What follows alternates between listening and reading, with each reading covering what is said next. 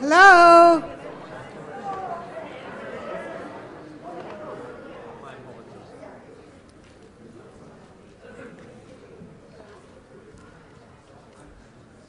I don't know how many of you have been sitting in here most of the day, um, but we're off to a pretty good start, I think. I've, been, I've enjoyed all of the presentations and actually enjoyed the variety that we're getting to have today. What we're about to do is called the State of Humanism. So, welcome to the State of Humanism 2016 might wonder why we do this session. This is sort of our annual meeting where we get to download to you very, very quickly. It's really a data dump on everything that's been going on with the American Humanist Association in the last 12 months. So it's um, they've got me first because I'm really the Instagram speaker. I go really fast and then I'm done. And but we're going to enforce that on the rest of the staff and the volunteers who will be coming up and talking to you about the various programs that they work with and that they run. We do this because AHA is a member driven organization. We are the only democratically operated humanist organization in the United States of the, of the major nationals. I'm sure some of you run your local groups democratically. Right now, um, we're doing pretty well. We've got well over 32,000 members and supporters. Um, we have a new strategic plan that will be introduced to you. I think some of you have already seen some packets on it. And we have a a new refreshing humanist society, and all of this information will be brought to you. We're also going to be celebrating what our members are doing this, this weekend. Um, it's a good opportunity to reach around. You're here at a conference, make friends, talk to each other. We are your tribe, we are your community, and we want to be here for you. So, um, in the sense of urgency with which we have to share all of this information, I'm going to sit down and we're going to start with our treasurer. Thank you.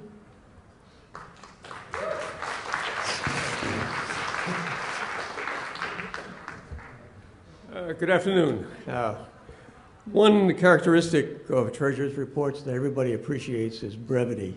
So I'll, I'll try not to, uh, to disappoint you in that respect. Uh, so I'll just give a general summary of last year and the first part of this year. Uh, if anybody wants any more information, it's available in excruciating detail to anybody uh, who asks. Um, the association uh, ended the year with income totaling uh, $2.4 million and expenses for the year totaling 2.6 million roughly. Any uh, major variances were pre-approved by the board and all minor variances had very good uh, explanations. Um, the draft uh, report uh, from uh, on the financial statements on the audit has come in, and uh, in their opinion, the financial statements present fairly in all material aspects the financial positions of the organization as of December 31st, 2015, and the changes in its net assets and its cash flow for the year then ended in accordance with an accounting principles generally accepted in the United States of America. So far, we passed our audit with flying colors. For the first quarter of this year, uh, the association ended uh, with uh, expenses exceeding income by approximately $36,000. Most budget items were on track. Uh, income from the quarter totaled about 444,000, and again, explanations for, for variances were very satisfactory. Expenses for the year totaled uh, $480,000. Uh, this only amounts to 15% of the annual budget, due primarily to the fact that the bulk of the expenses for the annual conference and other uh, expenses are yet to be realized. It's the seasonality of expenses and revenues that gets is very affected in the first few quarters. One further thing I would like to report is that the total assets of, AH, of your AHA and its affiliates now amounts to $8 million. Thanks to, the, to you and to the members and supporters of the organization for the last three quarters of a century, the fiscal position of your association is not just sound, it's robust. So we're entering the next 75 years in very good shape.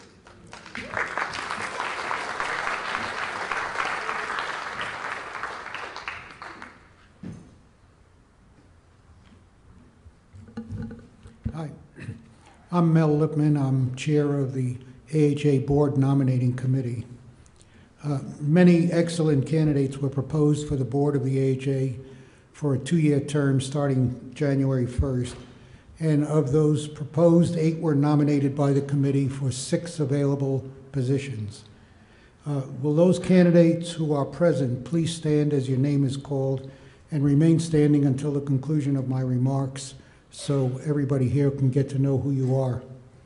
The nominees are in alphabetical order Debbie Allen, Rob Boston, David Breeden, David Chivers,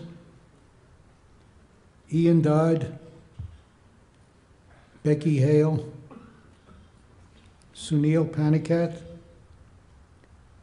and Kristen Wintermute. Additional candidates may be added to the slate by a petition process, which will be detailed in the free mind that's going to be mailed on June 8th. And it'll also be on humanist.com. Deadlines for the positions, petitions for uh, candidates uh, is April, is August 11th, August 11th. An announcement of the final slate will be posted online on August 13th. Ballots will be mailed to members on August 20th, and the deadline for voting is September 26th. Winners will be informed on September 29th, and during the conference, get to know the candidates, and uh, thank you.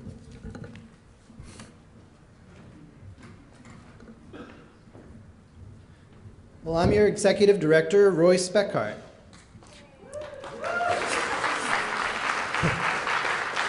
I'm here to say that the state of humanism with the American Humanist Association is indeed strong. As you'll be hearing from the leaders of our adjuncts and programs, the capabilities of the AHA are more robust than ever. Humanists are growing in numbers and activism, and we are now commanding the respect we need in order to effectively represent your values. But first, I want to take a moment to tell you about some of the challenges we face.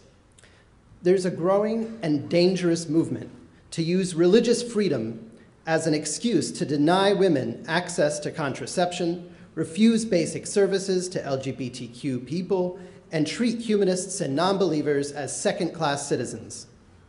The shield of religious freedom has been transformed into a sword by religious conservatives who force their faith on others and use that faith as an excuse to deny equal rights.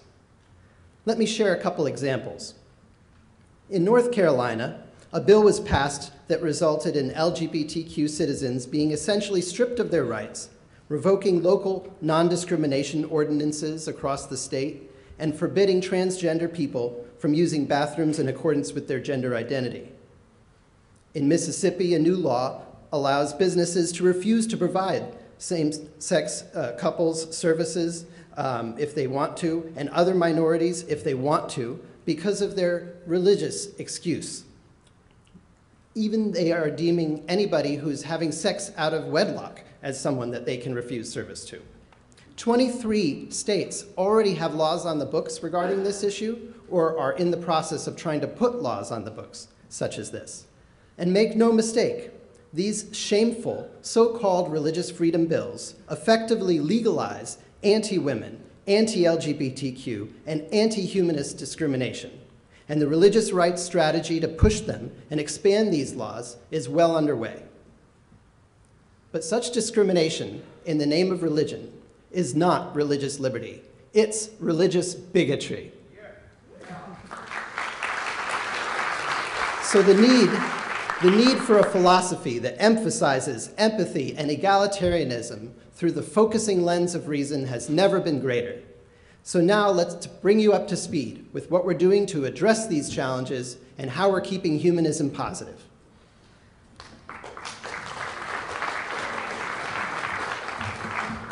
How do I follow that guy?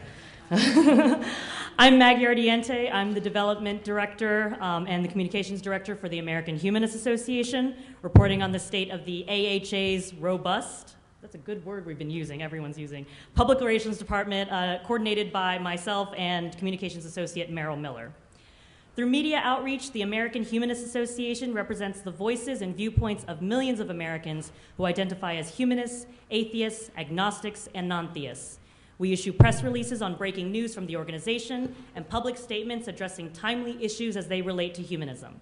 In 2015, the American Humanist Association offered a perspective on major current events, such as the U.S. Supreme Court's ruling on the marriage equality case, the murders of the humanist bloggers in Bangladesh, and public officials' attempts to erect Ten Commandments monuments on public land and display In God We Trust bumper stickers on police vehicles.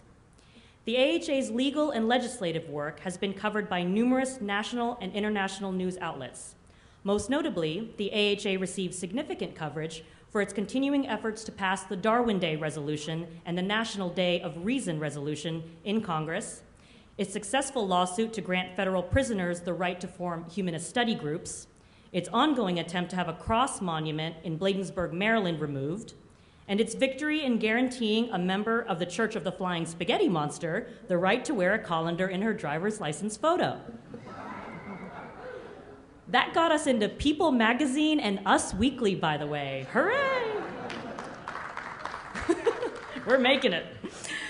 As a result of our ever growing activities, over 66,000 media stories covered the AHA and our work, which includes sources such as the New York Times, the Washington Post, Time Magazine, CNN, Fox News, USA Today, MSNBC, and much more. Uh, both Monica Miller and I appeared on Fox News' Spirited Debate with Lauren Green last year. Uh, Monica spoke on the Appignani Humanist Legal Center's case, challenging a prayer sign hung in a Mississippi public school, and I spoke on the rapid growth of non-believers in the United States.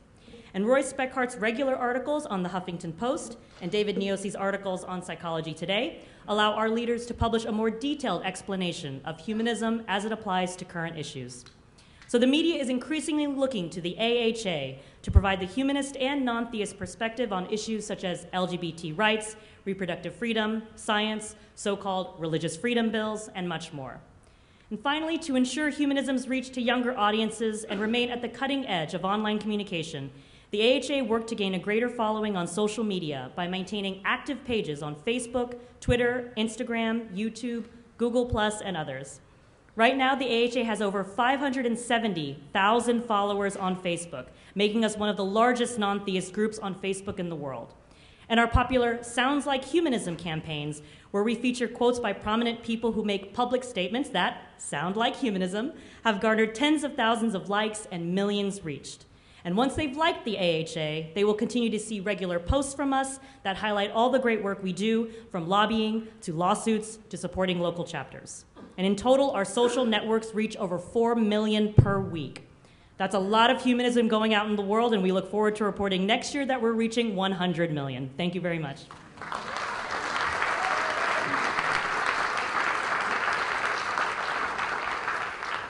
I'm Luis Granados. I'm a volunteer with Humanist Press, which is the book and ebook publishing division of the association.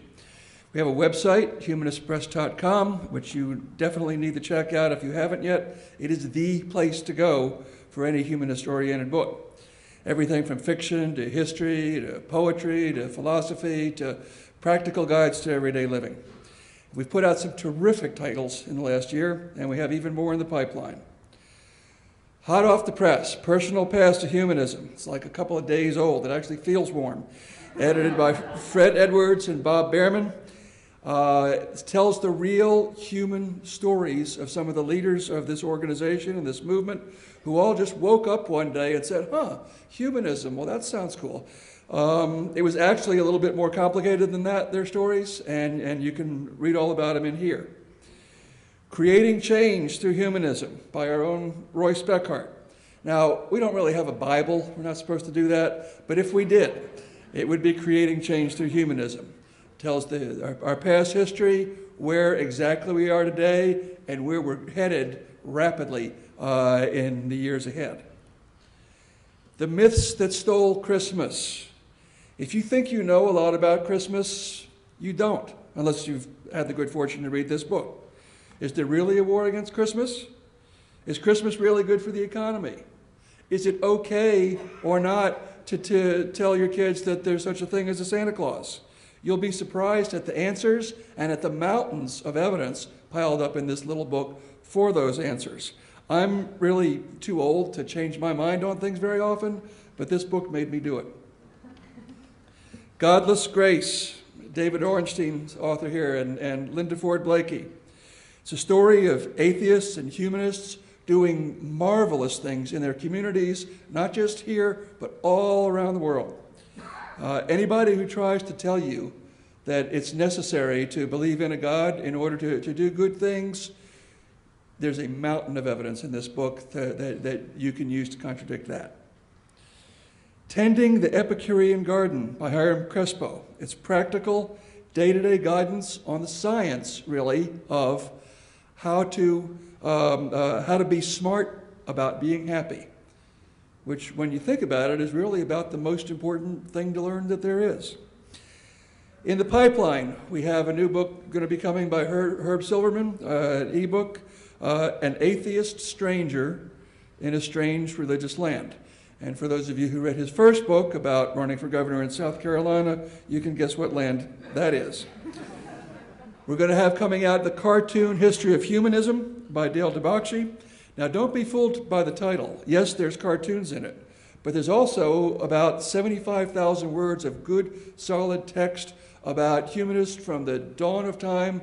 And I'll guarantee an awful lot of them are people you have never heard of them, and you'll say, How could I have never heard of that fellow? You, you really need to get this book when it comes out. And finally, one that we are very excited about. Uh, we don't have a title yet, but uh, the title is going to be something like Kurt Vonnegut on Religion. He was president of this organization for many years, and let me tell you, anything that helps to bring the gentility and wisdom of Kurt Vonnegut back to the fore is going to be a wonderful thing for the whole world. Thank you.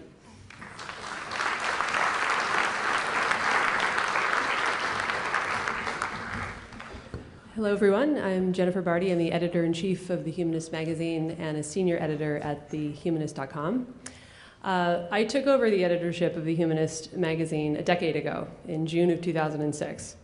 I was still in my 30s, Roy still had the ponytail, and Donald Trump was someone you could easily ignore. Talk about the good old days. Um, but having been on the job for a decade certainly makes me feel a little bit old. Certain units of time do that. Um, but 10 years is nothing compared to the 75 years that the Humanist magazine has been around. Um, the January February issue of this year celebrated that 75th anniversary. So we featured a lot of former humanists of the year on the cover, and we had articles by Steven Pinker, uh, Joyce Carol Oates, Lawrence Krauss, and Rebecca Goldstein. And I think such a big anniversary certainly calls for a little bit of retrospect and some name dropping. So, uh, some of the illustrious people who've written for The Humanist over the years, um, who don't appear in this anniversary issue, include, in no particular order, Gene Roddenberry, Linus Pauling, Margaret Sanger, Martin Luther King Jr., Bertrand Russell, John Dewey, Margaret Atwood, Jack Kevorkian, Isaac Asimov, Kurt Vonnegut, a. Philip Randolph, Allen Ginsberg, Benjamin Spock, Betty Friedan, Sidney Hook, Howard Zinn, Noam Chomsky, who will appear in the upcoming issue of the magazine, uh, Peter Singer, E.O. Wilson, Richard Dawkins, Alice Walker, Sherwin Wine, Barbara Ehrenreich, and Salman Rushdie, to name a few. Um, and along with them, leaders of the humanist movement, philosophers, scientists, uh, AHA members, and all manner of uh, free thinking fellow travelers have made the humanists great. Uh, we've tackled issues related to re- religious freedom and human rights, to scientific exploration uh, and technology, politics, psychology, ethics, and art. The Humanist was on the forefront reporting on landmines, um, sweatshops, on extraordinary rendition, uh, overpopulation, sexual freedom, privacy, um, and on and on. Um, one thing we've always done is highlighted the various journeys to humanism taken by the famous and not so famous alike. Uh, this past year, we tackled some controversial topics, and readers responded very thoughtfully and in some cases quite contentiously. Do Black Lives Matter to humanism? The summer issue asked. The March April, April issue of this year raised the uh, idea that the human in humanism may not be enough and suggested that we extend our concern more definitively to uh, all living things. And the current issue uh, looks at the US presidential race, which we're still in the midst of, and asks if it's more like a carnival or a campaign, and explores a little bit of what we might gain from it, as disheartening as it may be. Now, compared to the Humanist magazine, the Humanist.com is a mere baby at, two, at just over two years old. Uh, but it's a really smart, lively baby that we're really into, and we have lots of pictures of if you're interested. Um, but we publish daily content there uh, on current events from a distinctly humanist perspective. Um, so, to give you some numbers, for the first four months of 2016, the site has averaged 134,000 page views and close to 77,000 visitors each month. And these numbers are pretty similar compared to the same time last year. However, our readers are spending more time on the site. Uh, the average length of time a visitor spends reading articles at thehumanist.com has increased 7% since last year. And outreach efforts to new readers are also seeing some success. For the first four months of 2016, the percentage of first time visitors is up 6%. So far this year, our top, top three most read stories have been The Case Against Evangelical Higher Education by Vic Sizemore, a film review of God's Not Dead Part 2, which was kind of fun, um, by Mark Dunbar, and Americans Divided Why Some Bernie Sanders Supporters Would Turn to Trump by Merrill Miller. Uh, this article was published in April, but it's obviously still a very hot topic, and I find the notion just utterly confounding. But really check out the almost 150 comments to that article on the site if you have a chance. They're fascinating um, and enlightening. So let me end just by saying happy anniversary to the AHA, and uh, once again extend my my thanks and and. Uh, how fortunate I feel to be such a big part of our humanist publications. I hope you keep reading them. Thank you.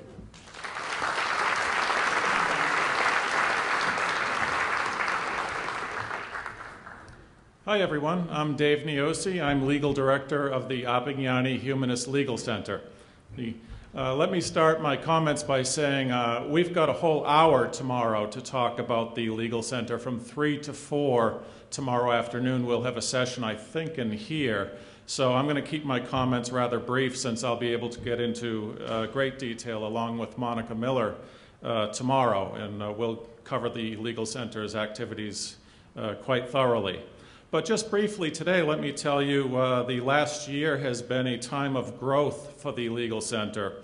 We added a third lawyer this year, so now the Legal Center is staffed by myself, Monica Miller, and Kat Page, who is uh, not here at this conference. She's holding down the fort in D.C., but uh, we uh, have grown in that regard.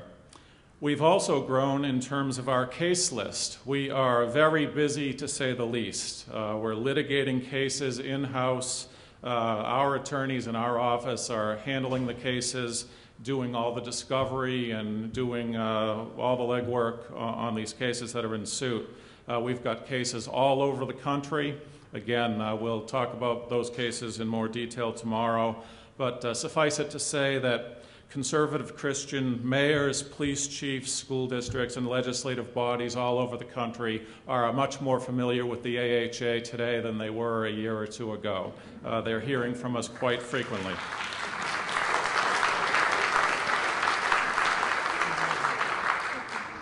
Uh, most of our cases, uh, actually all of our cases right now are in federal district court or in the circuit court of appeals. We have cases in the Fourth Circuit, the Fifth Circuit, and the Tenth Circuit on appeal, and as I said, cases in the, at the trial court level all over the country as well. Uh, we are also growing in terms of our list of victories. Uh, we have a win rate of over 90%, uh, which is a, a, win rate that uh, any nonprofit would envy. Uh, and I'll get into that. Uh, we always love to brag about our victories, and we'll talk about our victories, our challenges, and every other angle tomorrow at 3. I'd also just point out we'll talk about other stuff. Uh, we do non, non-litigation activism. We do uh, uh, complaints to people uh, outside of court. And I'll get into all of that, and Monica will as well tomorrow. So I look forward to that. Thank you.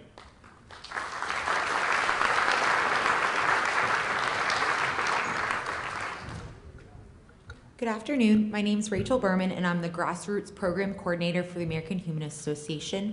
And I'm going to be talking about the Chapters and Affiliates Program.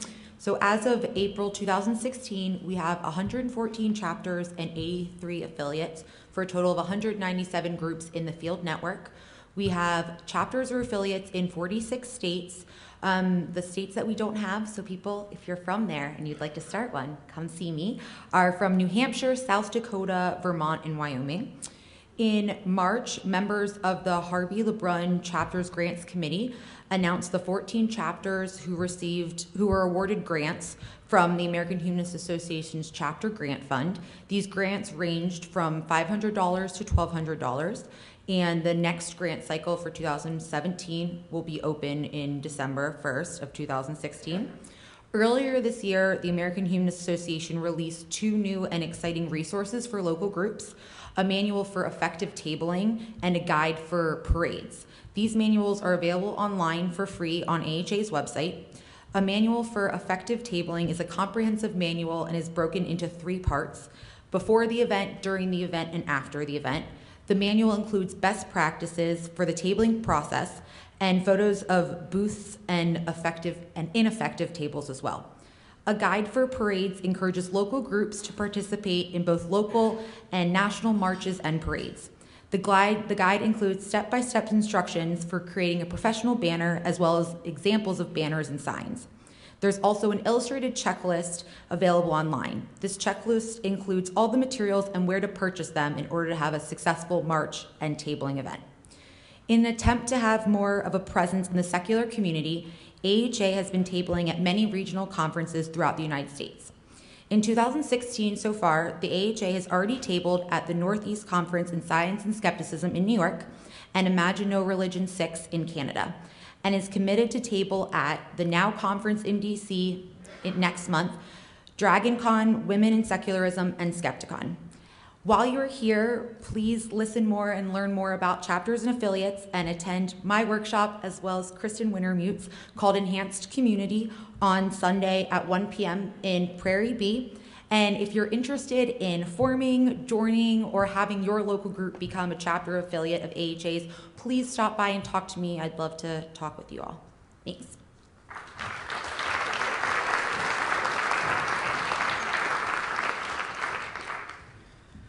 Hello, I'm uh, Bishop McNeill. I'm the political coordinator of the Center for Free Thought Equality and also the manager of its connected political action committee, the Free Thought Equality Fund. Uh, the Center for Free Thought Equality is the political arm of the American Humanist Association, and we really focus on two areas of, of, of advocacy, which is in lobbying and electoral uh, campaigns. Um, so uh, Legislative Associate Matthew Bulger has met with over a dozen members of Congress and their staff talking about the need to maintain separation of church and state uh, and about the humanist perspective on current and past legislations. Matthew has also worked with Representative Jim Himes from Connecticut uh, to reintroduce the Darwin Day resolution, which garnered 20 co-sponsors this year, which was the highest that we've ever received um, and Representative Mike Honda to reintroduce the National Day of Reason resolution, which currently maintains two co-sponsors. In addition, we also send out action alerts with the goal of mobilizing our supporters to contact their, their, their members of Congress and their legislatures. And we've done it on these issues. Uh, we've, we've, asked, um, we've asked our members to contact their Florida state representatives uh, to urge them to vote against several bills which, which would jeopardize the right of students to remain seated during the Pledge of Allegiance. Uh, we've asked our voters to contact the U.S. representatives and senators to urge them to, to co-sponsor the Darwin Day resolution. Uh, we've, we've contacted members in West Virginia to, to contact their West Virginia state delegates to urge them to oppose the state version of the Religious Freedom and Restoration Act. Uh, we've also contacted our members to urge them to contact their Mississippi state representatives um, to oppose a bill which would inject religion into science classrooms and allow the teaching of creationism in public schools.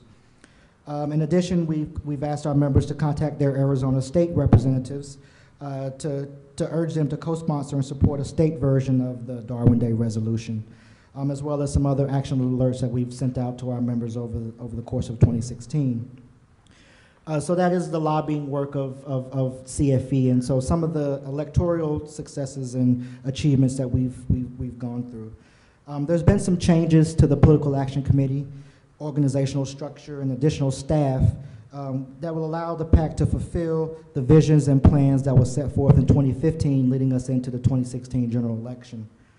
Um, the first of that was hiring Ron Millar, who has been hired to serve as the PAC coordinator and will handle many of the day-to-day operations of the PAC.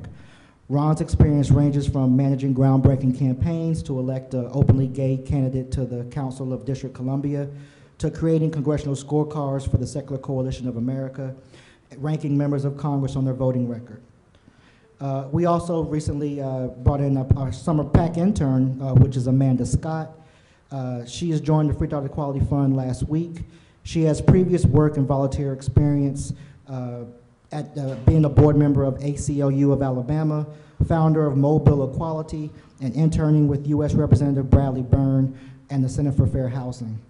She has also been an outstanding recognized advocate within the humanist movement, receiving the 2014 Activist of the Year Award from the American Atheist, the Catherine Fahringer Memorial Student Activist Award from the Freedom from Religion Foundation, and the Award for Outstanding Activism from the Secular Student Alliance. Uh, the CFE is, uh, is, and its associated PACs um, saw significant growth and completed substantial changes in our endorsement strategy in 2015 uh, to prepare us for increased political activity this year. Uh, CFE's membership has grown to almost 15,000 members and supporters who are able to contribute to our political action committees. We've also increased our Facebook reach by over 400% since 2015. Uh, some fundraising numbers just to give you a good uh, idea of where we're at. Uh, the creation of the Freethought Equality Super PAC was finalized last year, and we've raised over $60,000 so far. The traditional FEF PAC has raised over $12,000 that, are, that can go to direct contributions to candidates. Uh, through our online portals, we've raised another $9,000 for the election of Jamie Raskin in Maryland, uh, and with another at least $15,000 indirectly from secular donors across the country. So in total, we have raised $96,000 in total contributions since 2015.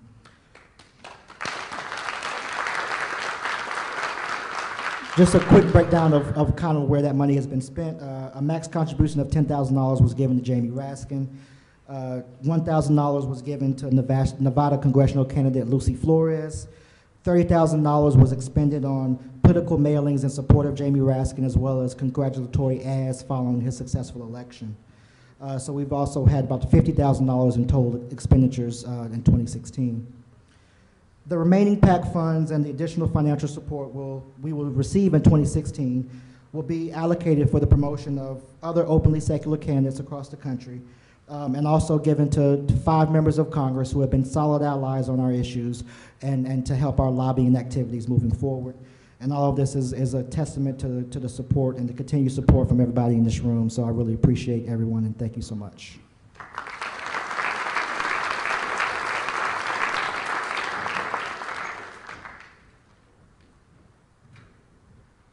Good afternoon, or actually good evening, everyone. How are you doing? You've sat through a day, so appreciate you for hanging out this long with us. My name is Diane Burkholder. I am co-chair of the LGBT Alliance. Um, I am new to this position as of the last few months. Um, I'm sure many of you are aware of American Humanism Association, as we discussed, is really taking on social justice issues. And so, uh, Sincere Kirabo, thank you.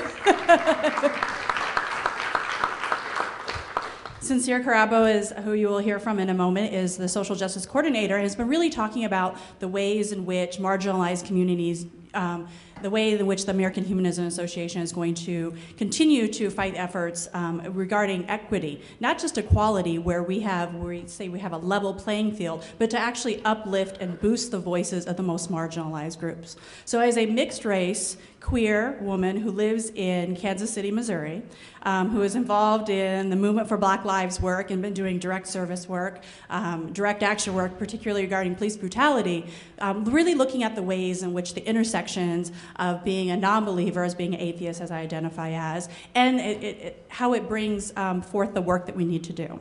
So, the, what we've been doing in the Alliance, we've, um, Sincere, like I said, has brought us together. Um, the last, really, the last three, four months have been really determining the ways in which this movement is going to move forward.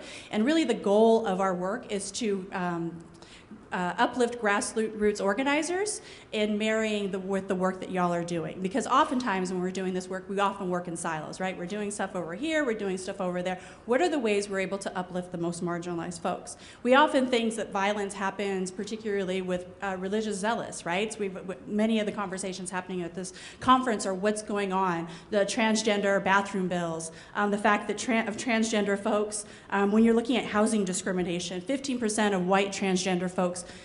uh, report having housing discrimination. But when we look at communities of color, uh, American Indian population report 47%, and black folks report 38% of housing discrimination. We look at the intersectionality that happens within these communities. We often think that LGBT folk, that we all get along and we, you know, oppressed communities cannot oppress communities. We need to talk about the issues in which we are, um, the issues in which we are able to come together, but also have these really tough conversations. And so I'm really excited about the work that we're going to be doing, um, the conversations we're going to be having not only internally as the LGBT Alliance, but the conversations we're going to continue to have with y'all in the American Humanism Association. Um, I just wanted to say um, in closing that um, we, like I said, we often think that violence happens within uh, religious zealots, but we also are going to be talking about the ways in which religious dogma um, plays out in our lives each and every day, whether we identify as secular or not. And so we're talking about the ways in which we push down and silence and tell folks that they can't have a voice, or tell people that what their experience is not in fact true. We're fighting that fight each and every day, and we're talking about religious dogma. We need to talk about the ways in which we're doing it amongst each other, because if we can't do this work together, it's not going to happen. And we already know, particularly what's going on across this country with um, um, religious folks, you know, bearing arms and wanting to take over, right? Talking about that this isn't a Christian nation anymore, and us doing um, secular work, the ways in which we're able to do that work, we need to be able to work together. So, like I said, I appreciate um, having this opportunity to work with everyone in the American Humanism Association. I look forward to getting to know everyone, and I look forward to um, reporting more next year about the work that the LGBT Alliance will be doing with the American Humanism Association. Thank you.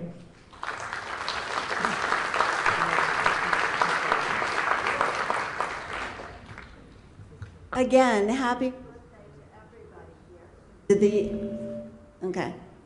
Um, it's wonderful to see old friends and new friends. I'm Stephanie Downs Hughes. For the past eight years or so, I've been serving as either chair or co chair of the Feminist Caucus. But now we all have to get used to our, uh, our new name. Part of the strategic plan, we are happy to be the Humanist Feminist Alliance, as some people call us, but we're usually called the Feminist Humanist Alliance, FHA. Um, I, like um, the previous alliance speaker, am a volunteer. And um, we are also so delighted to be orchestrated by um, a new staff member our new social justice coordinator, Sincere. And I like his name. He is sincere. And we're very excited about the concept of all three alliances working in coordination because we are all working at the intersection of various kinds of human rights. Um, we like to think of the Feminist Alliance as being warp and woof with humanism. They're really not separable. Um, and I hope all of us will be thinking and talking more about this, stimulated by the programs that we've had. Um, we're at the point where we are utilizing classic expertise and new blood and we're very much a combination of women and men. Um, we're really about promoting human rights. Um, women's rights, our own rights, and the rights of others in philosophy and in practice. We're thinking and working at the intersections of majority and minority. You know, women are really, in many places, a numerical majority. Um, we're thinking local and global. Uh, we're thinking what we can do as a central force from the AHA and what we can do in our hometowns, home territories, and chapters. And we know that the advantaged and intelligent have huge responsibilities to lead, and that's us here in this room, those of us who can afford to come and be together. Um, what have we been up to this year? Uh, details are at our table, but let me give you an overview. We are still using the Universal Declaration of Human Rights as our guide. We are steadfastly working toward ratification of the USA Equal Rights Amendment. We need to elect moderates and liberals in November to our Congress. We need them, we need to persuade them to uh, remove the expiration date for ratification of the uh, ERA.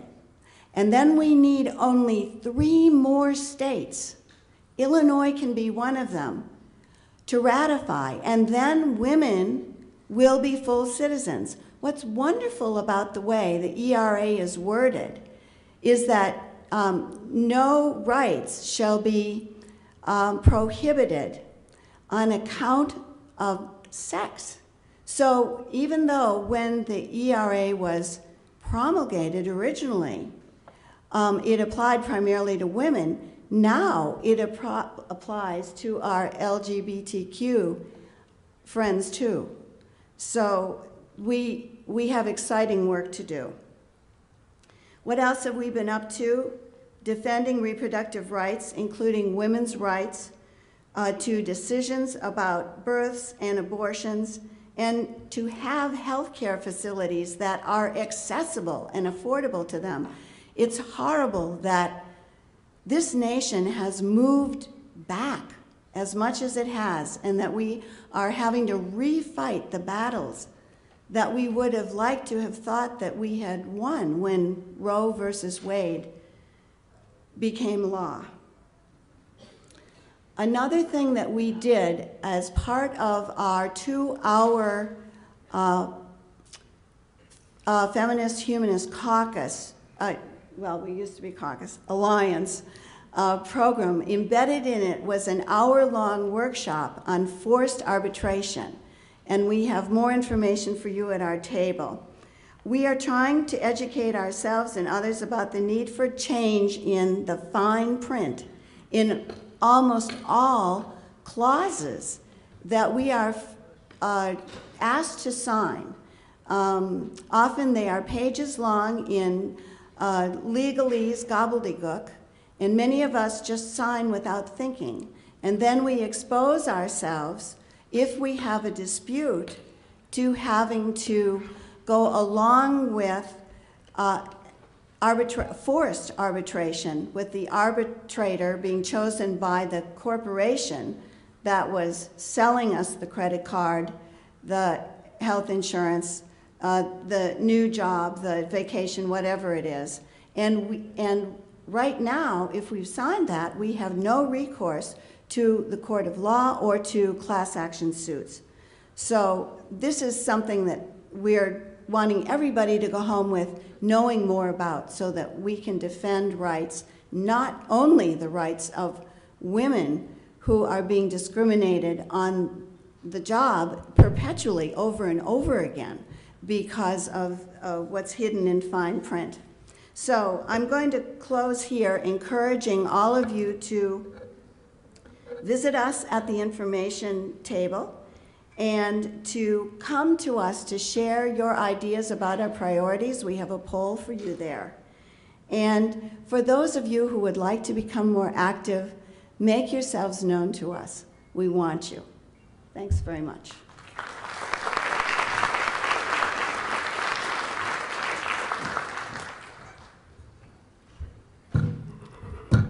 Oops. Hello, everyone. My name is Sincere Kirabo. I'm the Social Justice Coordinator for the American Humanist Association. Before I get into some of the things that the Black Humanist Alliance is involved with, I'd like to provide a brief backdrop as to why the American Humanist Alliance feels that um, the, um, the, why the AHA feels that the Black Humanist Alliance is necessary.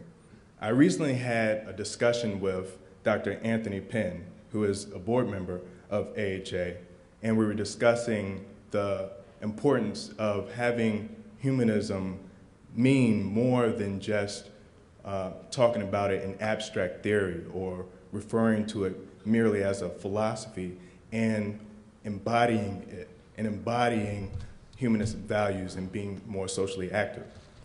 To that end, he said, quote, if systems that are premised on human capacity, human responsibility, and human accountability within the confines of material world and reason can't offer a way to address the injustice encountered, they pose little of practical use. If they can't address the well-being of life, what do they offer beyond belittling rhetoric and negation of other systems?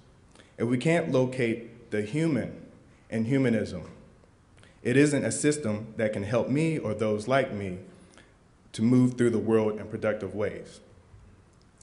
That sentiment was echoed more recently by Roy Speckhardt in an article that he wrote for the Huffington Post when he was discussing the intersection of humanism and social issues, where he stated that there's a natural tie between humanist philosophy and social justice activism.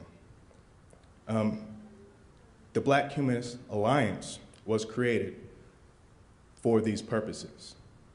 And our members include Dr. Anthony Penn, Dr. Sikivu Hutchinson, some of you may have heard of her. She writes frequently and speaks regularly regarding uh, the intersection of humanism and social justice activism.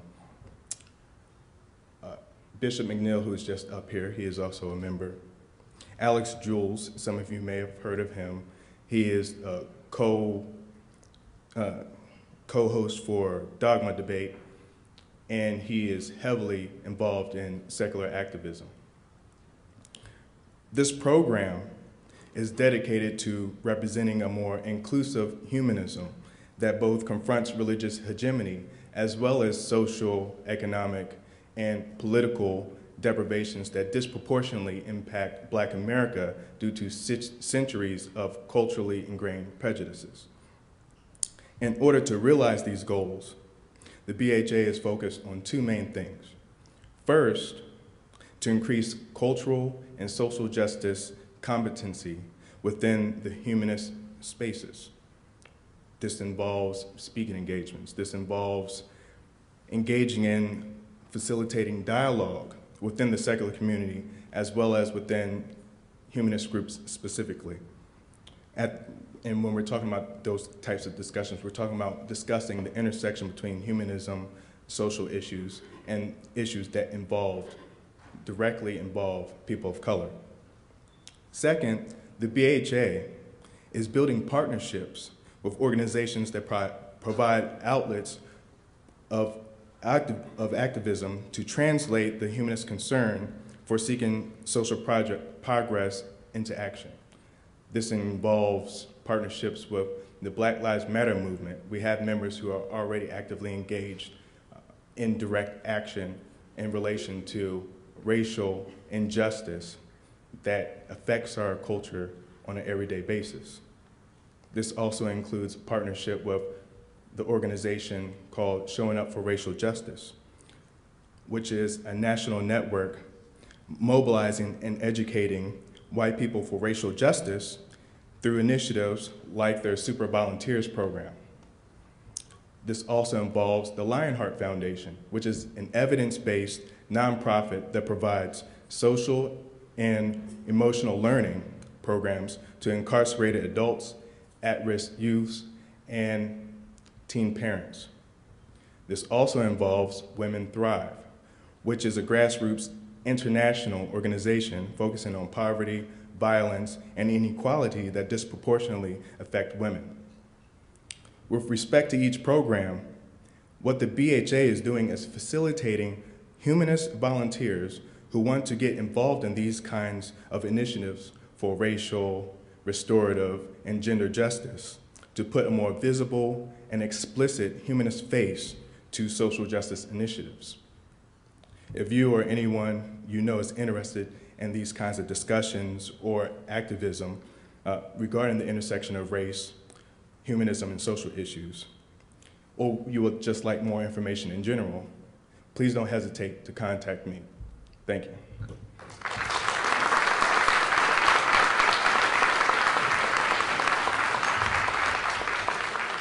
Hi, my name's Debbie Allen, and I am the new president of the board of the Humanist Society. The Humanist Society applies humanism to our daily life through a unique and vibrant celebrant program that recognizes the importance of ritual in individual and community life. The celebration of life is central to our lives as humanists. We are a growing network now of over 30 celebrants who provide personalized humanist and non-religious ceremonies. Did, what did I say? No, it's, it's, it's over 300. Sorry about that. Sorry. who provide uh, services uh, to humanist and non-religious ceremonies, which include weddings, commitment ceremonies, baby namings, funerals, memorials, and other life cycle events. Celebrants work closely with individuals and families to create unique and meaningful ways to mark the most important moments of their lives. We've had many accomplishments over the last year, including changing our look. We have a new logo and a new website, and we have new promotional brochures. We partnered with the Humanist Institute and offered in-person celibate training at three locations throughout the United States. The Humanist Society is a proud sponsor also of this year's Reason Rally and will have a table at the exhibitor's tent on the National Mall on Saturday, uh, June 4th. If you'll be at the Reason Rally, please stop by, say hello, and pick up some free swag. We will also be leading a session during the mini conference the very next day on Sunday, June 5th. But while you're here, please attend our workshop this Sunday entitled Enhancing Community at 1 p.m. It's going to be led by our celebrant community coordinator, Rachel Bhaerman, and one of our Humanist Society board members, Kristin Wintermute. Please visit our website, thehumanistsociety.org, thehumanistsociety.org, to learn more about what we do, and please, most of all, please consider becoming a humanist celebrant joining us in providing this important and satisfying experience to our humanist community. Thanks.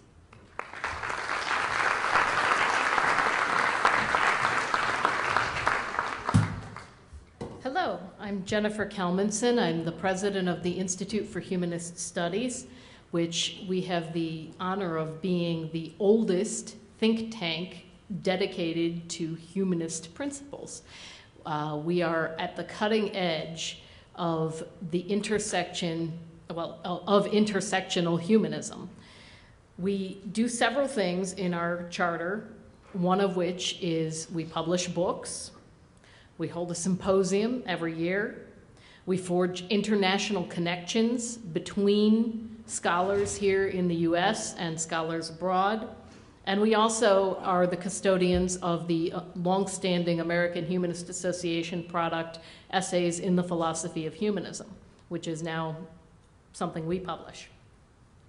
So our book series is our primary product. These are actual books in you know paper and print that you can go and buy. The first one is What is Humanism and Why Does It Matter?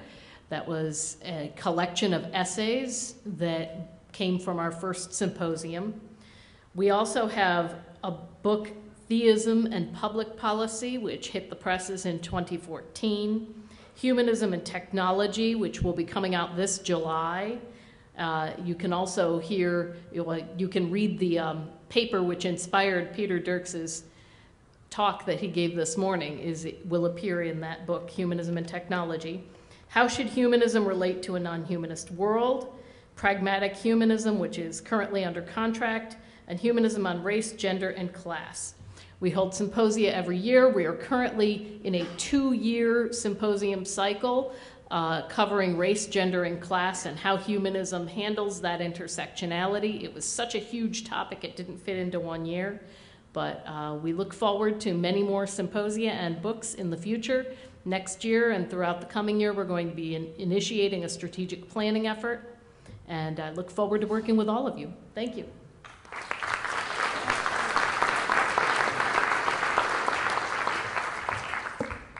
Hi, I'm Kristin Wintermute. I'm the executive director of the Humanist Institute, and I want bragging rights for the social justice coordinator. It was my idea. so you can thank me for your job. um, the Humanist Institute was started in 1982 as a way to succeed the current leaders, and at that time there was maybe just a handful, one handful of prominent leaders in the humanist movement. And now, keeping up with higher education, we have really grown and changed. Um, we're now have a graduate program, an online program, and as many people mentioned, we have on-site training. So we've really expanded to become a center for education, serving the community in all kinds of ways. Um, our graduate program, I'm really excited about this. Our graduate program really was closed to a, a unique set of people who could afford it, had the time and the flexibility to be a part of a two and a half to three year program. And many of our graduates, Susan, I see you out there, Bob Tapp, our Dean Emeritus, is in the back. Um, I see many graduates, it's so exciting to see you, but what we're now about is about choice and change. What we've realized over the years is that we need some flexibility in our program. And that means making our courses courses instead of a sequential, you come in the program, you have to take the program, you're here for two and a half years. Now we're doing courses where we have one prerequisite and eight individual courses, and people can choose what courses they want to take after that prerequisite to inform their work, to get a certificate, to become a certified humanist professional, to be focused in chaplaincy. It's a very exciting um, development for us. Over the years, people have said, Do I have to take all of these courses? And this is so much time commitment. And now we're saying, No, you can make your choices. You can take three courses, you can take five courses, you can take all of them and get your certificate. So I'm really excited to announce that. Um, the online education continues to grow. Um, last year, with the uh, we coordinate with the Institute for Humanist Studies and their emphasis on humanism and race. We offer a course that I, a lot of people don't, they look at it and they think I shouldn't take this. What would it tell me? It's a fabulous course. There's another course we have on humanism and in hip hop. And it's not about hip hop music. I encourage you to adventure into and take that course. We'll be adding more courses. Sharon Welch, who's here tabling for Meadville Lombard, will be writing a course for us. Um, and then we're doing more on site trainings. We're going to do one in Florida, we're going to do another one in Minneapolis. Um, but the most exciting thing we'll be doing this year is a collaborative effort with Dr. Penn in an open lecture series to honor the 100th anniversary of John Dietrich. If any of you know who John Dietrich was, he was a UU humanist minister um, and so they're having an anniversary at the First Unitarian Society this fall. We'll be doing an open lecture series, which we will be taping, and that will be a part of our new online offerings like TED Talks and Coursera's. So I'm excited as we keep telling me what ideas, what needs you have, because we'll try to fulfill them. So thanks.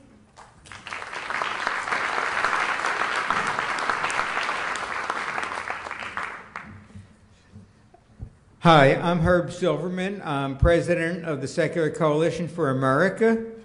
Uh, the Secular Coalition formed in 2002 with three national non theistic member organizations. Since each member organization had strict limits on lobbying, the Secular Coalition incorporated as a political advocacy group to allow unlimited lobbying on behalf of secular Americans. We started with all volunteers and no budget, but we had a vision and a plan. We wanted to increase the visibility of and respect for non theistic viewpoints and to protect and strengthen the secular character of our government. We agreed to cooperate on the 95% we had in common rather than argue about the 5% that sets us apart. Many of you here today helped us uh, create the success we have based on our initial vision. And for this, I thank you. In 2005, we hired our first director lobbyist, Lori Lipman Brown, whose office at the time was in the basement of the AHA building. We've now grown to 18 national member organizations covering the full spectrum of non theists with a dedicated staff of seven. It's not quite what the religious right has, but it's a start. Our new executive director, Larry Decker, has extensive nonprofit experience and has been working in D.C. for two decades. Our constituency, along with some of our coalition partners, now has a much needed presence on Capitol Hill. But we can't do it alone. Your voice is important to get real change.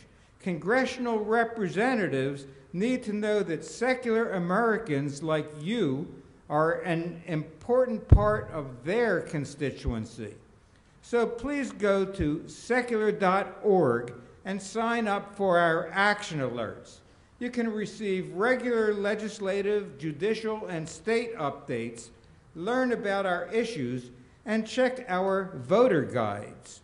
Our annual Capitol Hill Lobby Day this year will be on June 3rd, the day before the Reason Rally. The Secular Coalition does not advocate for special rights, but we do expect and demand equal rights. As we fight against religious privileging on the federal level, we recognize that some of the most egregious violations occur in state capitals throughout the country. I know, I live in South Carolina. the Secular Coalition is forming 50 state secular coalitions, and I hope you'll become active in your state. That's secular.org. Thank you.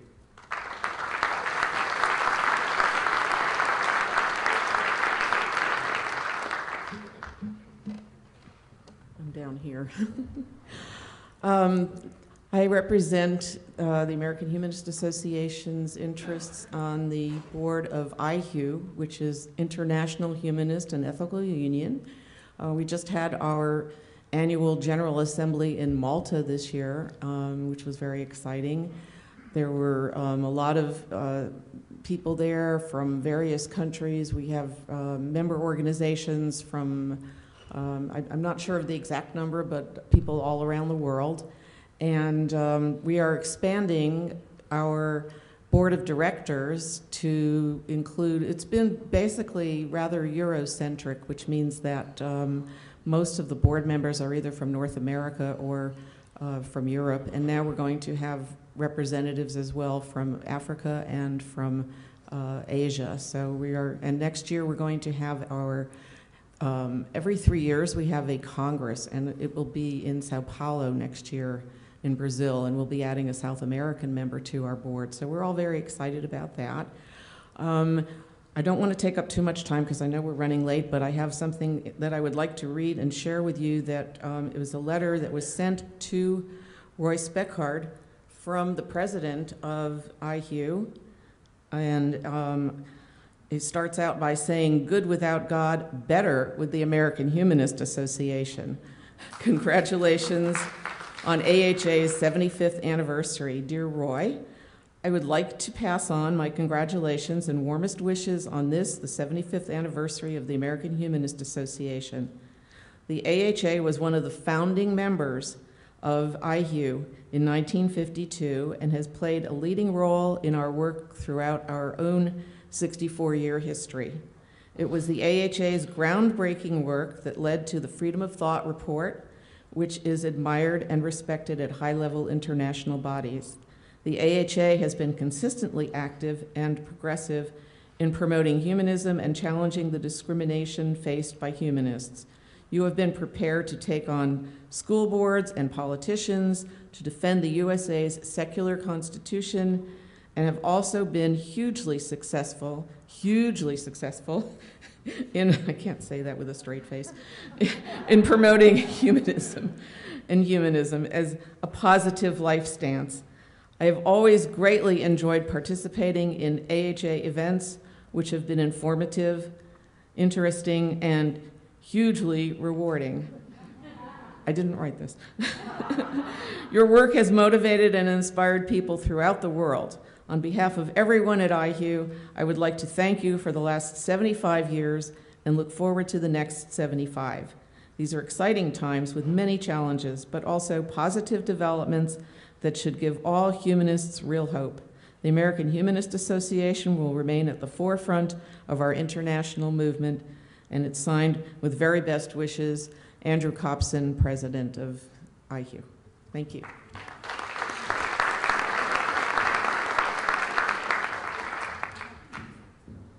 There I am. I look similar, right? Um, my name is Jason Torpy. I'm with the Military Association of Atheists and Freethinkers. I'm a Iraq War veteran, West Point graduate, former captain in the military, humanist celebrant, AHA board member. The point of the story is bringing those things together is what I want to talk about today. Uh, the Military Association of Atheists and Freethinkers is an independent organization supporting humanists and other non-theists in the military. Been around for many years now, depending on when you want to start the clock. Um, and uh, through all those years, uh, more recently uh, for several years with Rachel Bhaerman, Sincere Kirabo is now supporting us directly as well. Uh, all of these people here, especially Monica and Dave with the Appignani Humanist Legal Center, have had a close association with the American Humanist Association, um, even compared to the rest of the movement, which has been very supportive of military issues. Uh, the American Humanist Association has distinguished itself in, in really reaching out and, and providing a home. And now that that association is more formal uh, and more close as we work out of the AHA office, uh, working with staff more closely uh, to provide efficiencies for, for the military association and to better amplify our voices uh, through really the larger and uh, more, more wide-ranging uh, American Humanist Association. In the, one of the things that the, that the humanist movement struggles with is mainstream uh, acceptance and mainstream visibility. And this weekend, Memorial Day weekend, and I hope you all take time to, to think about uh, what Memorial Day weekend means.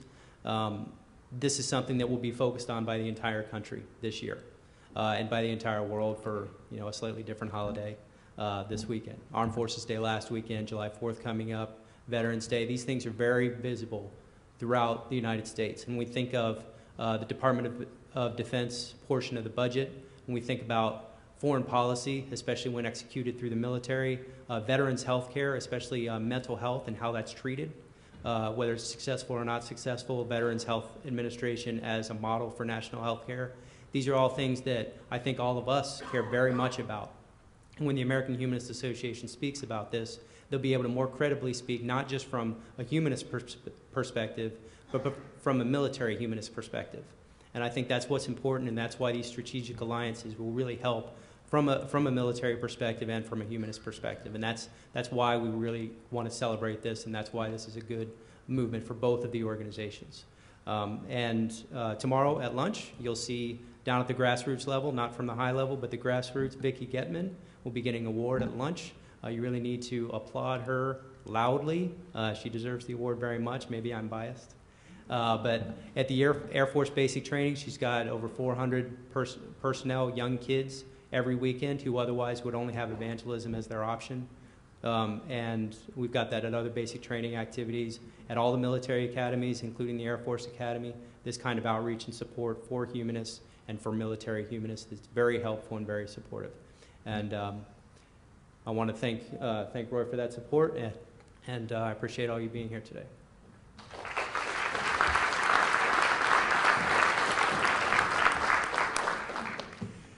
If they could see us now, the people who created the American Humanist Association 75 years ago, right here in Chicago, They started in 1941 by launching a small journal called The Humanist. There were no local chapters, there was no book publishing arm, legal center, celebrant program, no internet, no media relations, no political candidates. But the AHA's history quickly unfolded, as you can see by reviewing page 24 of your program book. There's a nice summary of the history of the AHA. During the 1940s, the AHA supported Corliss Lamont in his civil liberties activism against McCarthyism and Vashti McCollum in her effort to end mandatory Bible study in public schools. Her 1948 Supreme Court victory in McCollum v. Board of Education set the stage for all subsequent public school church state separation cases.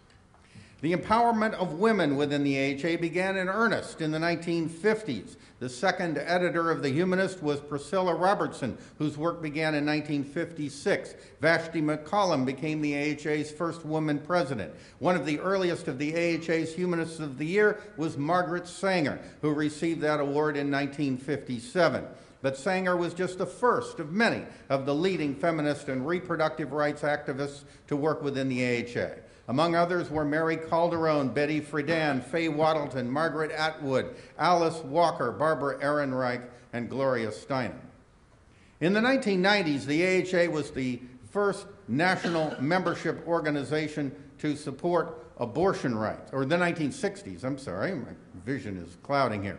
In the 1960s, the AHA was the first national membership organization to support abortion rights even before Planned Parenthood expanded to address the issue. Also in the 1960s, the AHA established local chapters and created its Celebrant program. Then, in cooperation with the American Ethical Union, the AHA worked to secure Vietnam era draft exemptions for non theistic conscientious objectors to create the first uh, uh, to create the first effort of that kind so that it wouldn't just be the atheists who were in the foxholes. Uh, also, uh, they worked, uh, the AHA and the AEU worked to create the first nationwide memorial societies to give people access to inexpensive alternatives to mortuary burial. Today, cremation and hum humanistic memorial services are more widely available and affordable as a result of that effort. Turning to the civil rights movement, after humanist leader Malanga, uh, Maulana Karenga was jailed for his civil rights activism, he created an AHA prison chapter. He also developed the current national holiday of Kwanzaa. In 1970, the AHA named Asa Philip Randolph as Humanist of the Year. He's the one who led the secular wing of the civil rights movement, the wing you don't often hear about.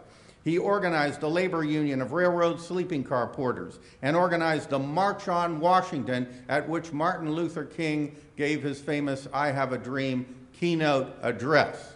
King did not lead that march, Asa Philip Randolph did, a humanist.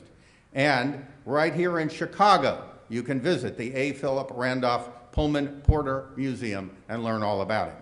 During the 1970s and 80s, the AHA shared the joint Washington Office for Social Concern in Washington, D.C., with the American Ethical Union and the Unitarian Universalist Association, which became a preview of today's Secular Coalition for America, of which the AHA is a member organization. In 1973, the AHA issued Humanist Manifesto II with front page coverage in the New York Times. This was followed by major high profile declarations on sexual rights, rights of the elderly, death with dignity, public school teaching of evolution, and critique of astrology.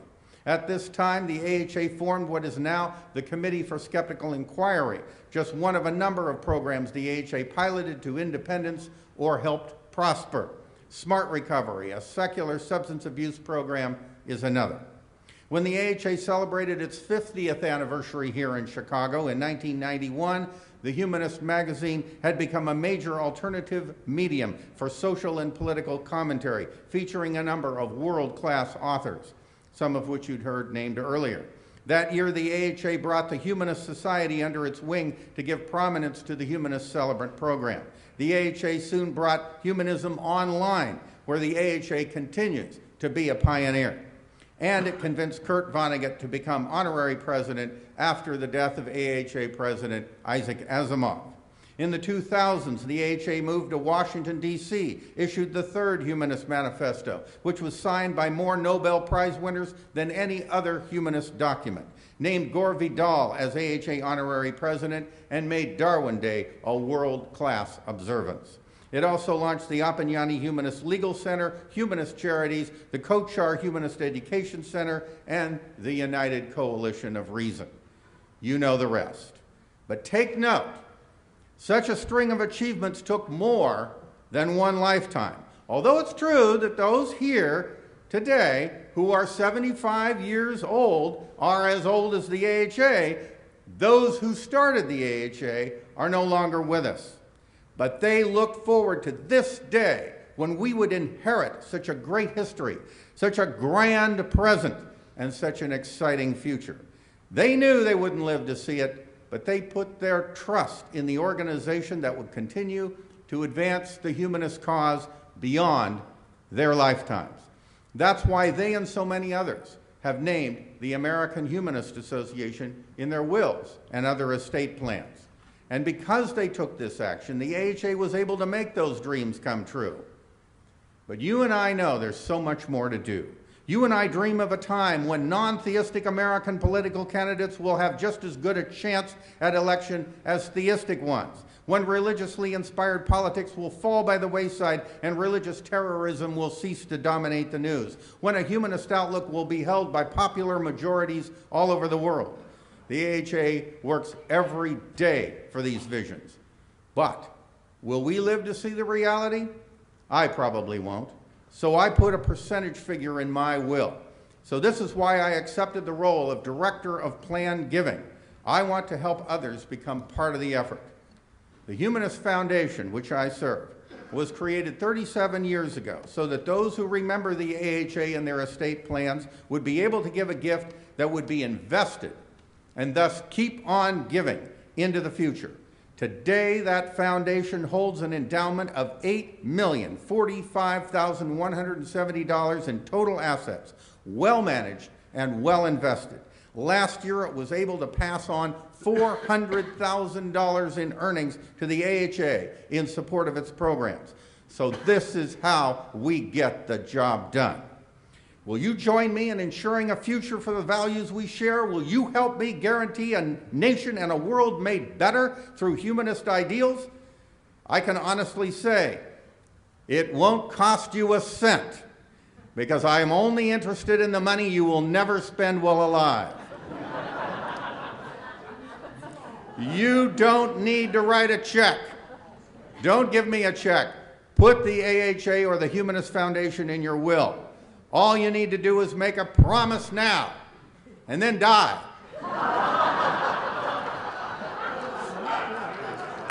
but don't die quickly. We want you to get really rich first. So let me show you how to do that. Speak to me during this conference. I'll be here right through the post conference tour. So you can talk to me even on the post conference tour to help you become a part of this great adventure and guarantee a future for your humanist ideals.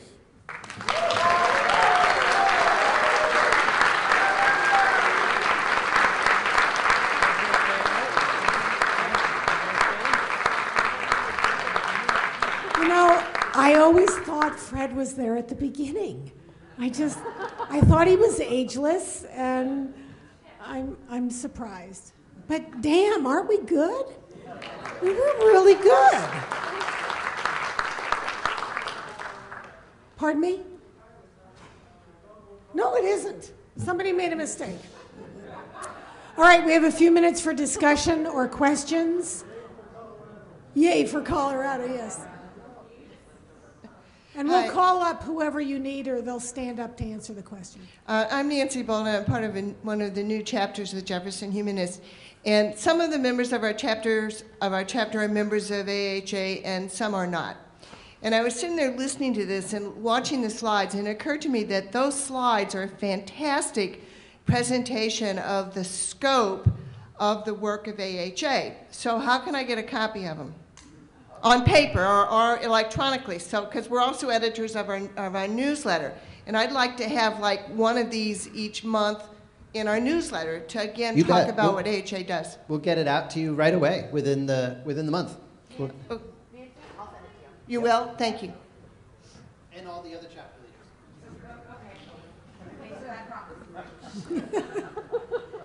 Uh, hi, everyone. Uh, my name is Eric Gordon. I'm a member of several years standing and uh, currently an applicant to become a humanist celebrant. Uh, I have a big butt. Uh, that means uh, uh, that uh, uh, we've been hearing about strategic alliances, we've heard about women's rights, reproductive rights, uh, race, uh, gender, class, progressive coalitions, environmental justice, electoral work, uh, social justice, civil liberties, A. Philip Randolph. Uh, what we have not heard about is uh, our coalition building partners in the union movement. And um, uh, I haven't heard a word of that uh, since, since yesterday. And uh, specifically, I want to call attention to the publications that we put out. Uh, I don't have them all in my hand, but uh, you, you, you all have them in your hands, and I don't see a union bug on any of them. So, who are we talking to? Who are we reaching out to? Uh, do we value the labor movement as allies in this progressive coalition that we are part of? And I would urge that, um, you know, that, uh, that, that principled and honest and thoroughgoing discussion of that question take place because I don't see a union bug on any of these, and I can only interpret I can only interpret that as being a conscious decision not to use union printers, and I would encourage us to change that position. Okay. First of all, yes, and, and I think point, first of all, point well taken. Um, the union bug is something when you send something to a union printer and you ask for it, they put it on the document that was printed. So it just means it was printed by a union printer instead of a minimum wage person. It was printed by, by a professional in a union shop. Um, that's essentially what the union bug means, but I, I think it's only symbolic. It's on our business cards. It is on the business cards. I don't think it was intentional. We, we, we do use union uh, work some of the time, not all of the time. Um, in fact, this is a union hotel that we chose. Um, but, um, but I think it is a good conversation to have, and I'm glad you brought it up. And I think it should be something we try to add to the agenda of our next conference. I, I appreciate the comments of the previous speaker or the previous commenter. Um, I uh, went to an FFRF um, convention up in Madison, and they had sponsored a woman from Bangladesh who fled because of um, she was really in imminent danger of being slaughtered with machetes or whatever. And there was uh, funding that was provided for that. And I'm just wondering if the AHA was a part of that or if that's one of your possible um, ways of, of uh, supporting people in, who are really under threat of death for their political opinions and their theis- anti-theism. We, we have, we didn't support that particular one. Uh, FFRF took- stood forward and took care of that one essentially, and that's great. And I know um, Center for Inquiry um, sponsored another individual, and we recently sponsored someone to bring them out of a dangerous situation in Pakistan to bring them to uh, a safer place. But um, I think a lot of what needs to be done is the behind the scenes work that is a little less public, where we work with the US State Department, which we're very active in doing. We work with organizations like Freedom House and others who can help people on the ground, hopefully, to make their situation safer, and if not, to find a way for not just one, but many people to seek a safer environment. And so that's something that our, uh, our legislative and our lobbying work um, at the State Department and international level is very active in, just so you're aware. IHU also is working at doing some of that work, and, and since we are a founding member and active with IHU, when we get these emails, and let me tell you, I get these emails every single week, and it is heartbreaking. Um, but we could expend our entire budget helping people out of these countries. And so we're, we're working with IHU to help make the reach broader, make their lives within their countries safer. Um, we've just signed on to a letter about um, apostasy in, in Greece, uh, a country I, I was shocked to find that they still have those laws, blasphemy laws. So we're working on it, we're aware of it. It is an enormous, enormous problem. And um, so, again, we're trying to build coalitions so that we're not duplicating the wheel, but we are enhancing it and helping it in every way we can see. And, and just, um, Vic, you're going to be the last question, just so, because we're a little late, but we're good. Go ahead. oh, am I the last one? No, no, behind you. It's like I'm always the last one. But uh, I want to thank uh, the organizer of AHS. This is the, I'm not the first, uh, I have been member for some, uh, several years, but this is my first meeting attending, you know, uh, this annual, which happened to be, you know, this celebration. And I attended, you know, the board of director meetings, and this particular session was very informative to me. Um, I took notes and I tried to match the faces with everything that I could find in this book, and I couldn't find all of them. And this is a follow-up of the request that uh, instead of uh, you know taking notes, it would be good to have these electronically available, preferably with some pictures, and more importantly, to make the uh, email connections for each speakers, you know, not only for the staff, but also for the speakers, you know, who have been here. Because I have been following some of them to the back of the room trying to get their email address, you know, or the contact information. And I think it would be a very useful database, you know, for this particular, you know, 75th anniversary. Thank you.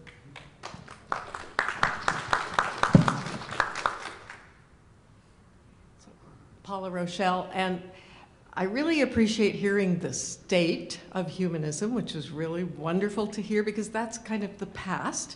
When I walked in, I got this document.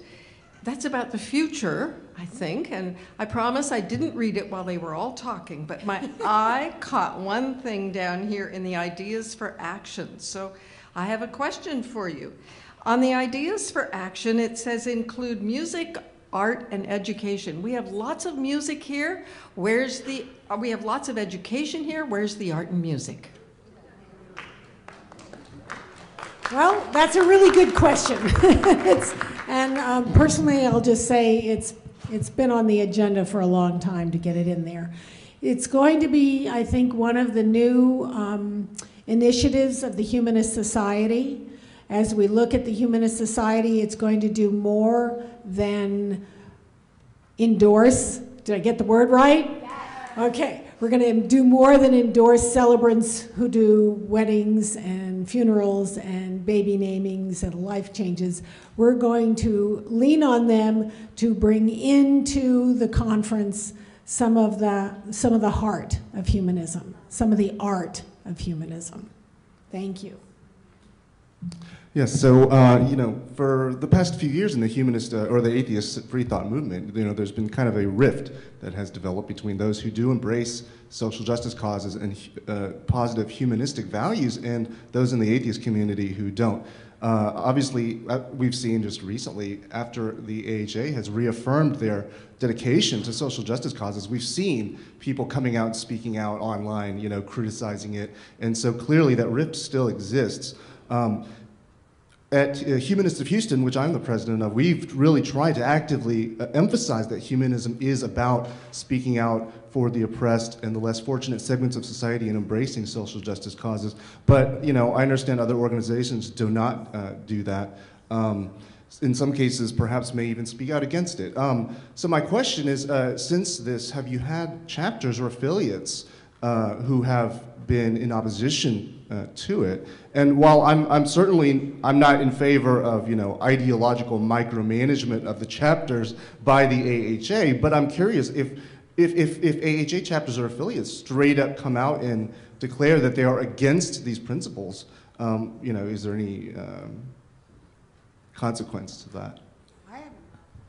Rachel's saying no, everybody's Yeah, happy. So far we haven't had that kind of uh, negative feedback. We are becoming more vocal, especially with this conference. Um, I think part of leadership is leading where people haven't gotten to yet. and so we're trying to do a little bit of that. And we know that, there, that we have to bring some folks along. Uh, but I also think that there is a unfortunate group of folks, um, like men's rights activists, who are really not humanists, never been humanists, never been really embracing rational thought fully, if you ask me. And those folks really aren't folks I'd be sad to see depart if they were going to leave, leave the AHA. But that said, I think that um, we should do what we can to educate folks because I think a lot of the uh, discriminatory approaches and prejudicial viewpoints come from a state of ignorance. And, it, and to the best that we can do uh, to be compassionate and, edu and educational in our outreach, uh, hopefully we'll bring some of those who are at least on the edge along with us. Thank you. Okay. Um, Maggie wanted me to remind you or announce for the first time at this conference that next year's conference is going to be in Charleston, South Carolina, June 8th through the 11th. And we do hope to see you all there. And my personal thing is you leave this room and you have in your mind all of the wonderful things that you may be perceiving that the organization and these volunteers are doing is that this is your organization. And we are doing this together. It's not just them. We wouldn't be up here without you. And you should take some pride in this and brag all you want because you're responsible for this too. Thank you very much, and we'll see you at dinner